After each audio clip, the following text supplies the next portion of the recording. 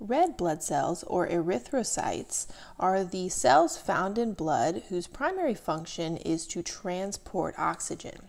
They have a biconcave shape, meaning they look like they've been squished from the top and the bottom. They are anucleated, meaning they do not have a nucleus, and really they don't have any other organelles to speak of. They're just filled with lots and lots of hemoglobin. Here's a hemoglobin molecule up close. It is made of four protein globin chains. There are two alpha globin chains and two beta globin chains.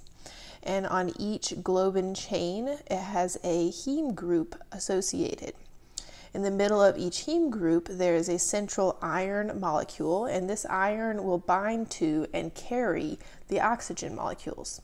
So that means that each hemoglobin can carry one, two, three, four oxygen molecules.